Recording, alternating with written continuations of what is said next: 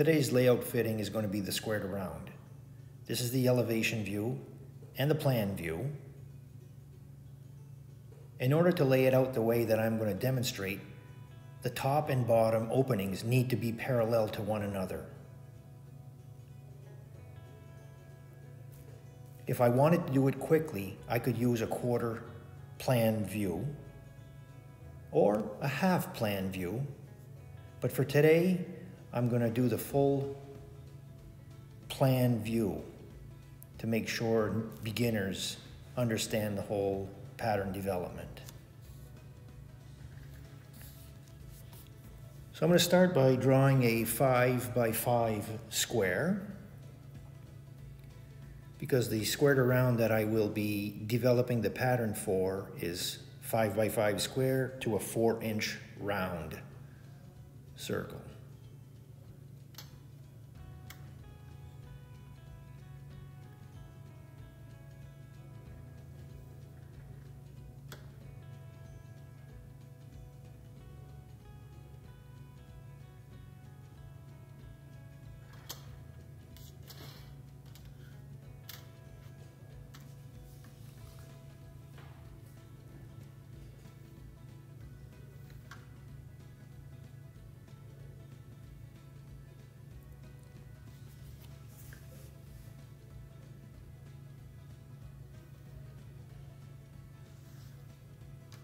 Now that I've completed the 5 by 5 square, I'm going to locate my 4 inch circle directly in the center of this square.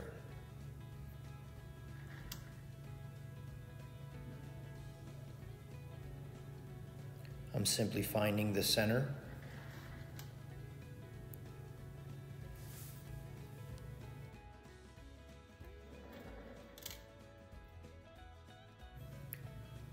Now, Adjust your compass to two inches and draw a circle, a four inch circle that is.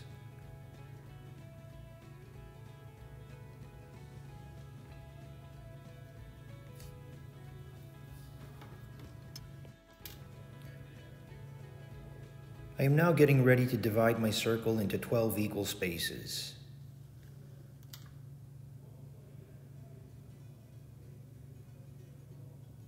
Again, this could have been done by simply drawing a quarter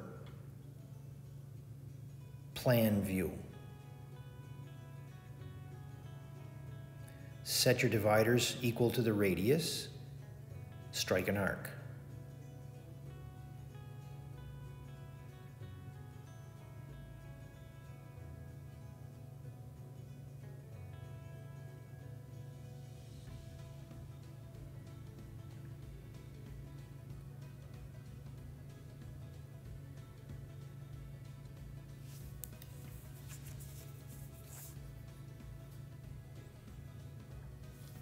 There, you have now divided into 12 equal spaces.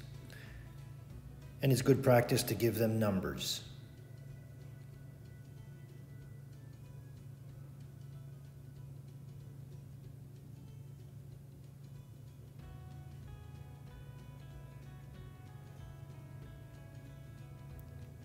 I'm also going to letter my corners.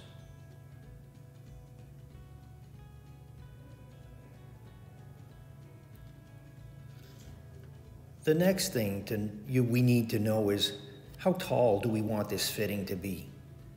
And in this case, I'm going to make it four inches tall. So therefore, this square to round is five by five to a four inch round, measuring four inches tall.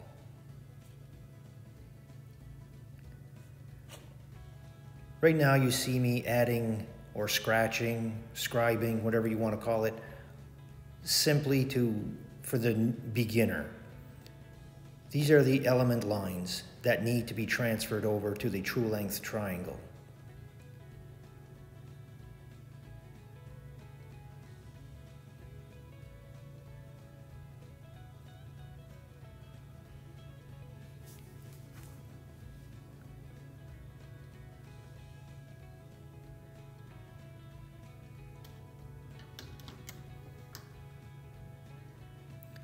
Here at 7, I draw this line down to indicate this is where my seam is going to be.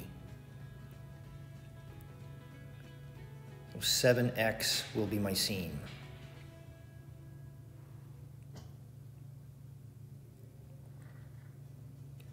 Now, the next step is to take every element line and transfer it horizontally to your true length triangle. In this case, this is 1A. And you would do this for every element line on a square to round. In the perfect world, we would only need a quarter plan view and all the element lines would be identical. But sometimes the round is not always in the center, which requires us to write down many different element lines or find different true lengths. A11 and A12 are identical in length.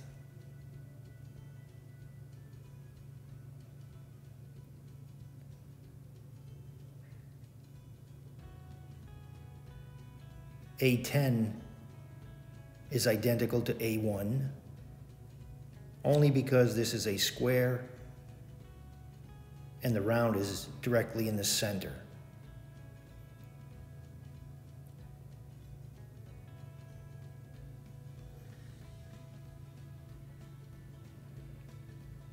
As you can see here, I'm demoing the B1 is the same again as A1.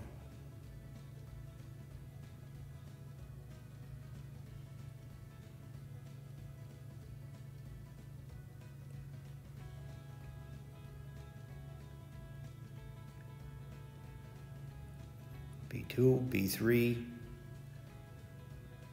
and B4 would go there. Your full plan view is what we just drawn. I could have gone with a half plan and get the same element lines. And even less again, the quarter plan. But we'll do that later on when we get more used to the fabricating these fittings. The seam needs to come over to the horizontal line also. So measure 7x, the length of the seam,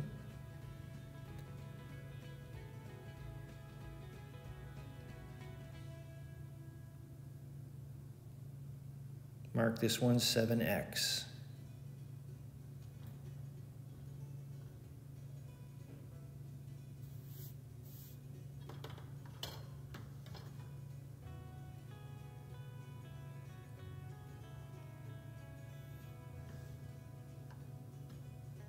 Okay, now I'm ready to start developing my pattern. We know we have one side five inches at the base because the base is five by five. So here I'm drawing A and B five inches apart. There's my AB.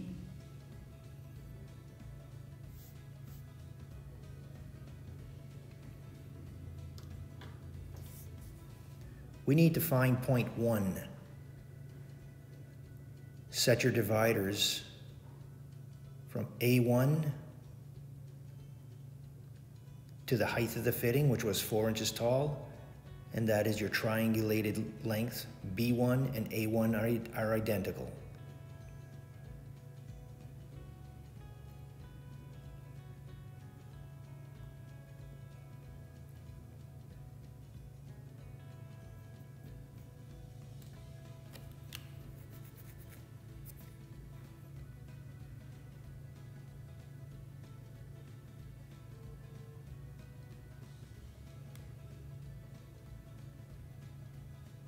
Now with your compass triangulated over B2 and A12, strike both arcs on each side of one.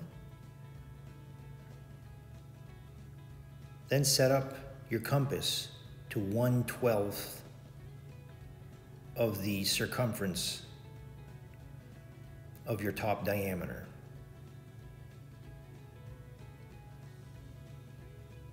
And use one Again, I'm just illustrating 1 12th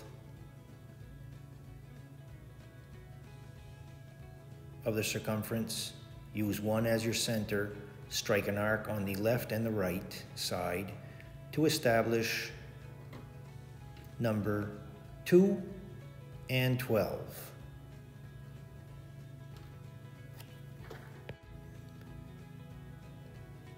Now we're going to try and find A11. So set your compass to A11 over 4 inches tall. So you are physically finding the true length, A11. Set your point needle on A, strike an arc towards 11. And do the same thing because it's identical on the other side for B.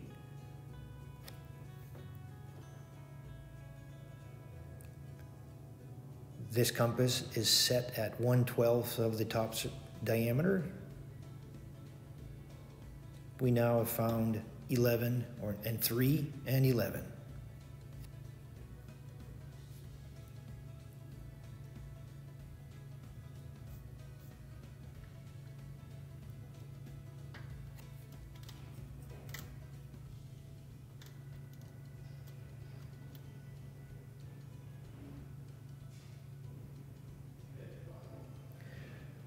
By drawing in some of these lines,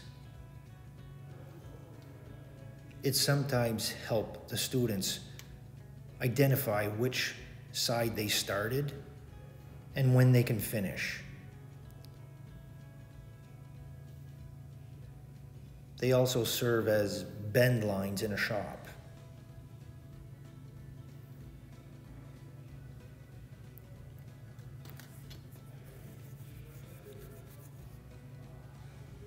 Next step is I need to find number 10 and number 4. Those numbers are on those arcs somewhere. So set your dividers from B4 on your true length triangle over 4 inches tall and strike the arc.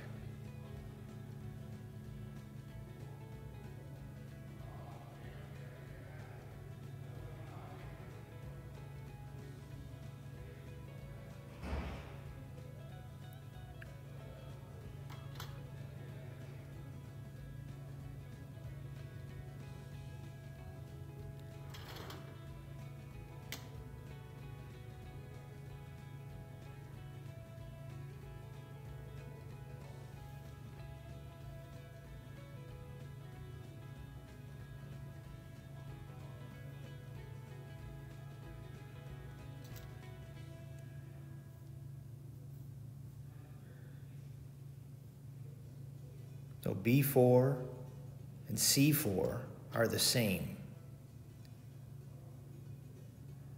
But before I do that, from C to B, I set my dividers to five inches because the base is five by five. So I'll set it at five and put set the needle on B, strike an arc, and do the same thing with A, strike the arc.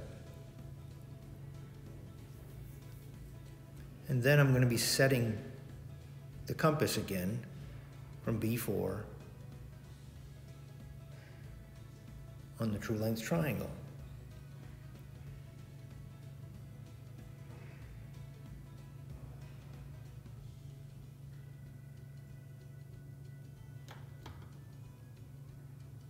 You have now found C and D.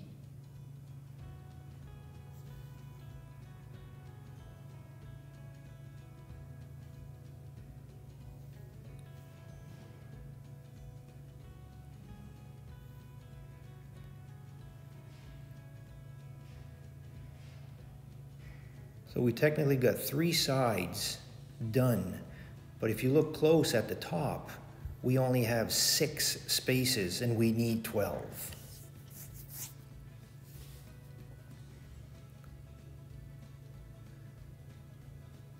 Now we need to do D9 or C5.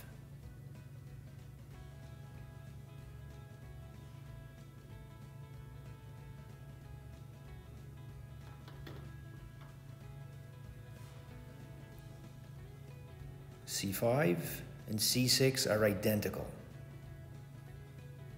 which were the same as A11 and A12, or B2 and B3.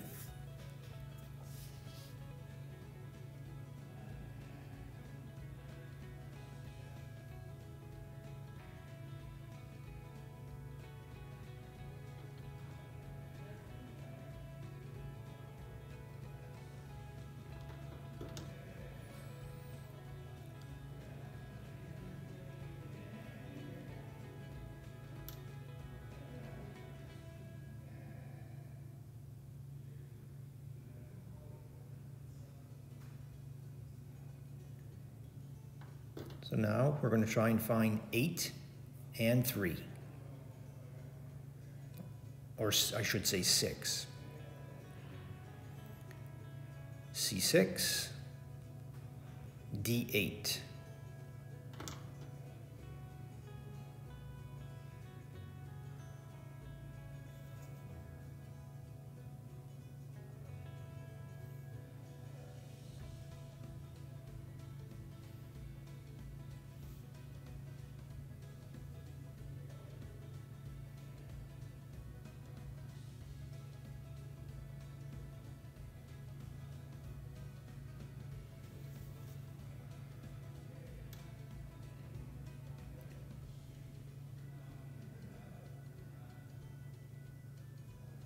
Eight to seven, and six to seven.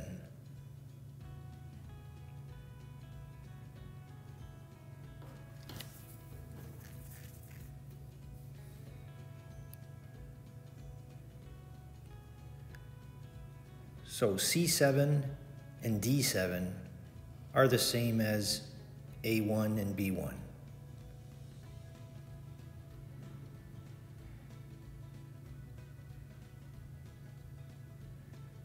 There. The top part is done because if you counted the spaces, you would see you have 12 spaces on top.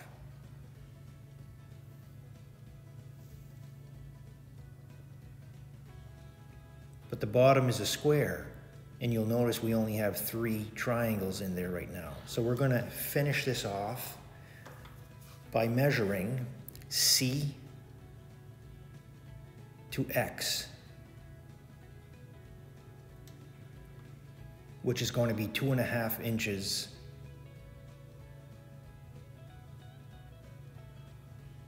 because it is half of five. D to X is the same thing. So from D, strike an arc two and a half inches away and do the same thing at C. And now you need the element line 7x.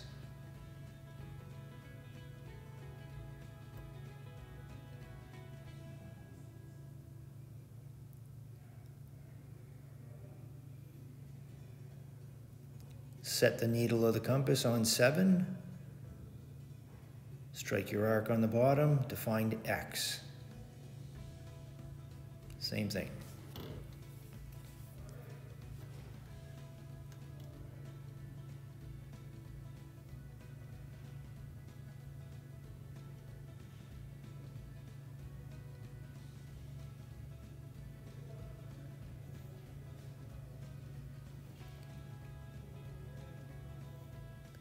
If you've done the pattern right, that angle should be 90 degrees.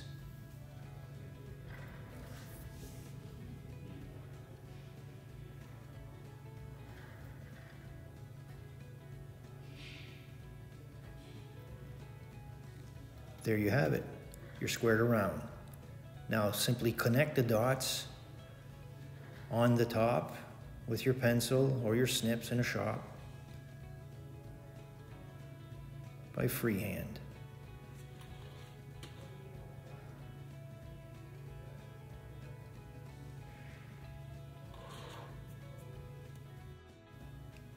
Well, I hope I was able to help you out lay out this square to round.